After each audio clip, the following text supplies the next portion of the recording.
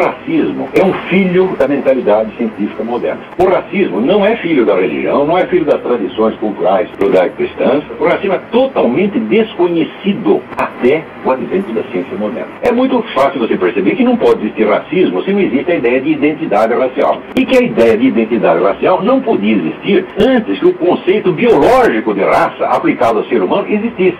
Isso só aconteceu no século XVIII, com os biólogos modernos, que, tratando o ser humano apenas como uma espécie animal, delinearam o conceito atual de raça. Antes disso, você pode haver briga entre comunidades, mas jamais definida racialmente. Por exemplo, você vai ver que a Igreja Católica, desde o início, ela teve bispos, cardeais, negros, africanos, sempre teve, teve santo africano. O da raça nem entrava em cogitação, por quê? Porque não havia a noção de, de raça no sentido atual. É por isso que se você procurar toda a doutrina católica, você não vai ver nem de longe, você não vai ver a menor insinuação de que haja uma superioridade dos brancos sobre os negros. Isso aí surge com a ciência moderna.